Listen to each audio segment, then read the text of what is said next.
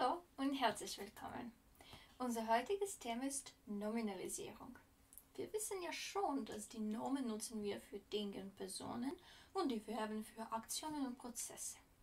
Aber mit Hilfe der Nominalisierung, sogenannte Substantivierung oder Hauptwortbildung, können wir verschiedene äh, Wortarten in Nomen umwandeln.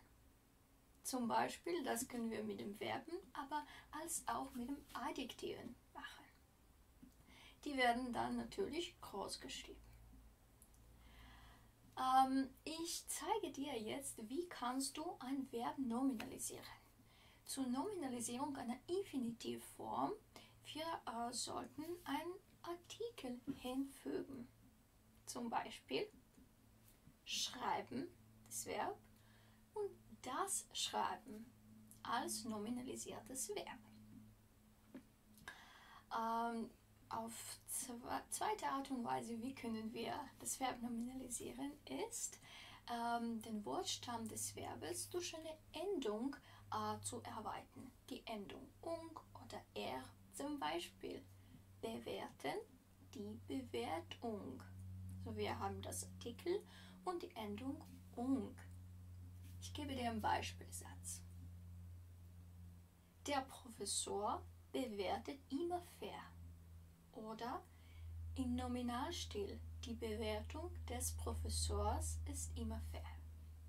Du kannst sagen, des Professors oder meines Professors äh, wichtig ist, die Genitiv zu benutzen.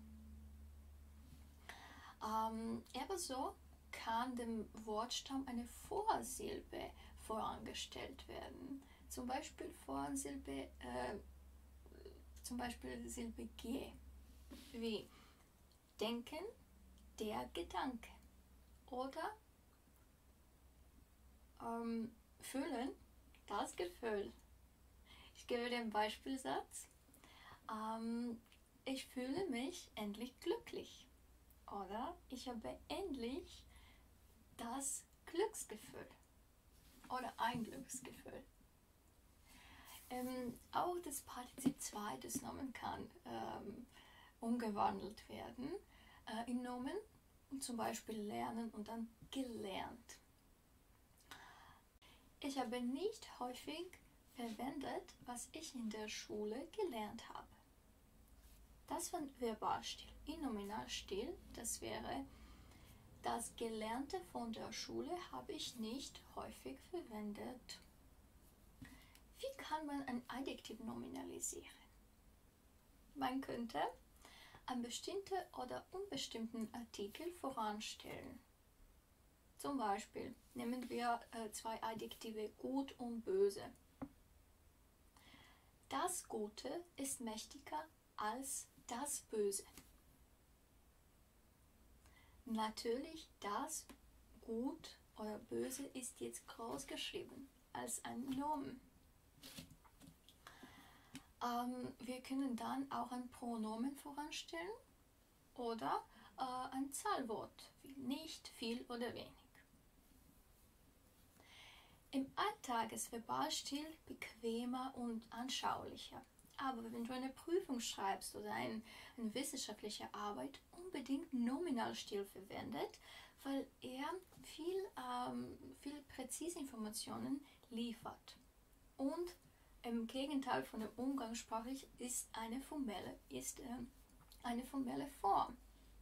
Deswegen, du solltest Nominalstil und die Nominalisierung sehr, sehr gut beherrschen.